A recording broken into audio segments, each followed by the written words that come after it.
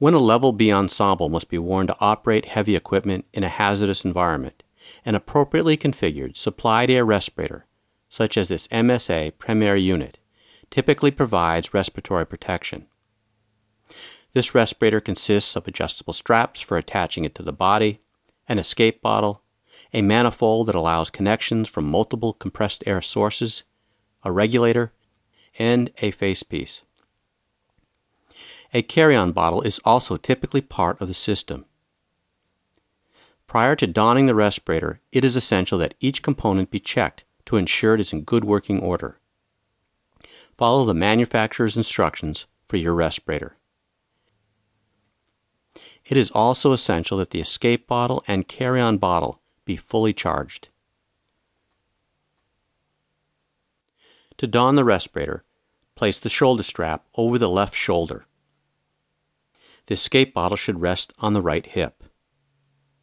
Next, fasten the waist strap buckle and take up the slack.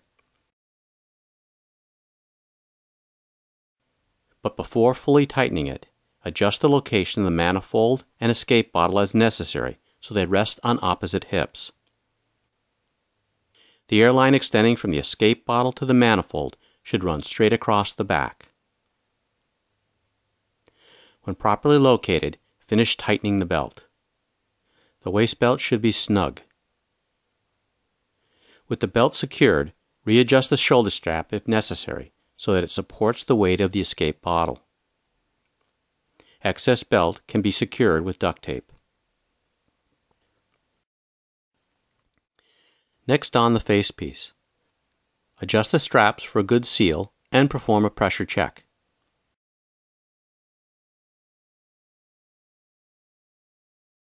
When you are ready to enter the exclusion zone, you will connect the carry-on bottle to the short fitting on the manifold. Prior to doing this, you may have to remove a protective cap placed on the carry-on bottle's fitting. This prevents contamination of the fitting. Once secured, open the carry-on bottle's valve. To ensure you have air flowing through the system before attaching the regulator to the facepiece, open the purge or bypass valve on the regulator. A burst of air should be released. When it is time to begin using the respirator, connect the regulator to the facepiece. To open the regulator and initiate the flow of air into the facepiece, you must take a deep, hearty breath. After this initial breath, you will be able to breathe normally through your nose or mouth. The airline is on a swivel and can be looped behind you so it stays out of the way. Hold the carry-on bottle in your left hand as you head out for your vehicle.